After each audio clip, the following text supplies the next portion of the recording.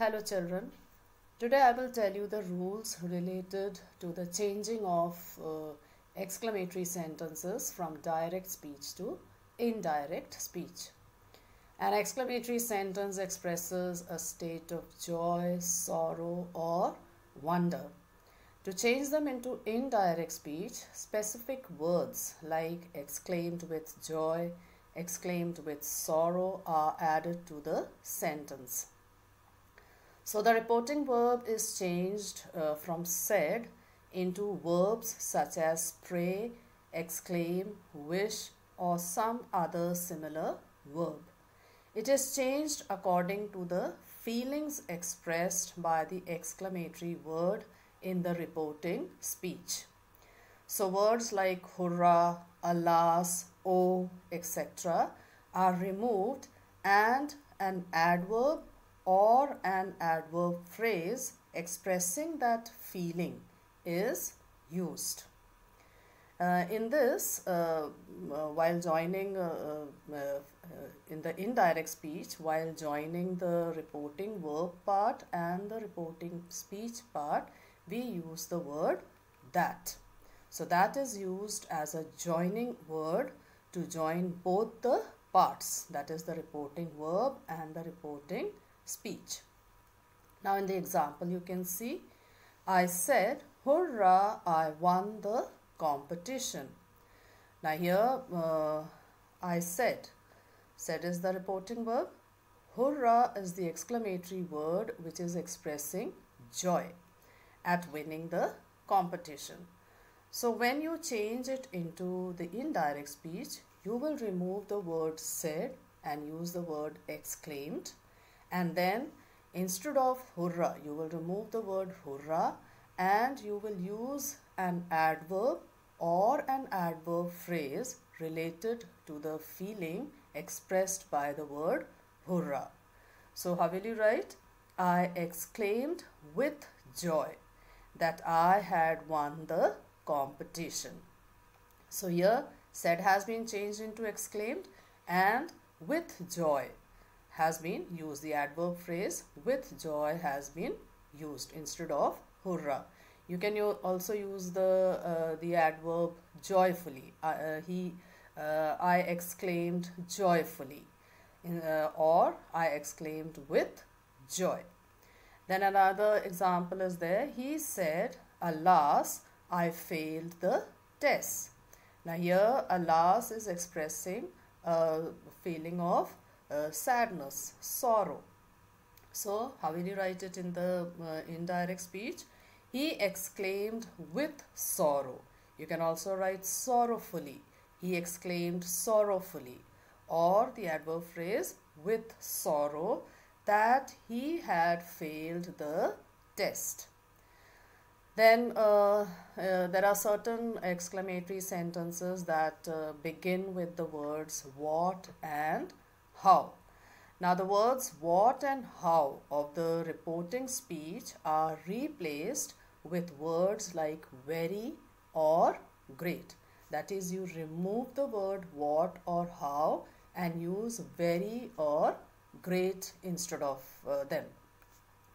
Now here you have to be careful that very is used before an adjective and great comes before a noun. Now in the example you can see he said wow what a beautiful car. Now here wow word is expressing wonder. So when you change it into the indirect speech how will you write? He exclaimed with wonder that it was a very beautiful car. So here uh, the exclamatory sentence in the direct speech was what a beautiful car. So the word what has been used. And when you change it into the indirect speech, uh, you change the what into very. And uh, why very? Because uh, beautiful comes after it, an adjective. So uh, uh, before an adjective, remember children, you will be using very.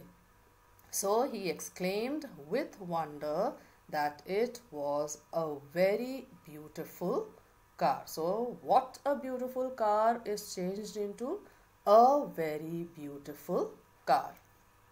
So children, these are the two main rules related to the changing of exclamatory sentences from direct to indirect speech.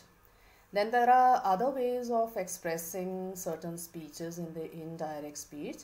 I'll be uh, telling you about them uh, by giving a few examples.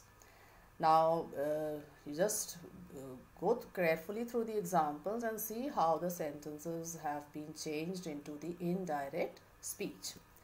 Now, in uh, example 1, you can see, he said, may you live long. Now, here the sentence, may you live long, expresses a wish. So, when you change it into the indirect speech, the reporting verb said will be changed into wished. So, how will you write? He wished that he might live long. Then um, uh, there are other uh, ways also like uh, somebody wishes you happy new year, happy uh, merry Christmas.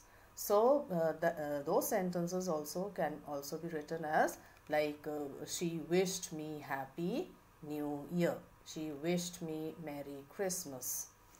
Then in the second example, the captain said, bravo, well done. Now here something praiseworthy had been done and the captain is praising, complimenting. Bravo, well done. So when you write it into, into the uh, indirect speech where you are praising somebody, cheering somebody, how will you write? The captain applauded that he had done well. Then the third example, Ravi said to Raj, congratulations. So here somebody is just congratulating. So how will you write? Straight away you just write it as Ravi congratulated Raj. Then the next uh, fourth sentence, she said thank God. So simply how will you write it as she thanked God. In the same way if uh, the sentence is like this, uh, she said thank you uh, for your help. So how will you write? Uh, she thanked me for my help. Then uh, the last example, he said to us, welcome, please come in. So how will you write? He welcomed us and requested to come in. So here there are two things, welcome and then please come in. Please come in uh, shows request.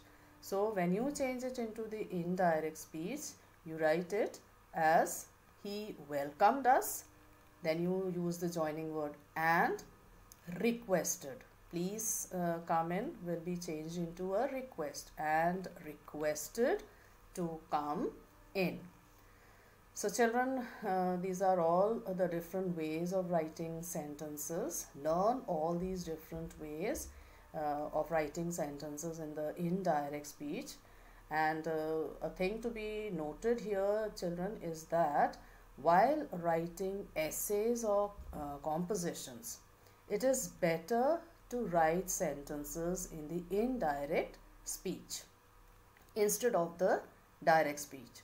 The uh, examiner expects uh, the essay or composition to be written in the uh, indirect speech, particularly when there is a speech uh, or a conversation between two persons that is expected to be written in the indirect speech. So you have to learn how to change direct speech into indirect speech. So uh, go through all the rules and learn how to write statements, questions, orders, uh, and uh, other types of sentences in the indirect speech. This will help you how to uh, straight away write sentences in the indirect speech. Uh, go through the rules children, note down all the examples and uh, prepare for the exam.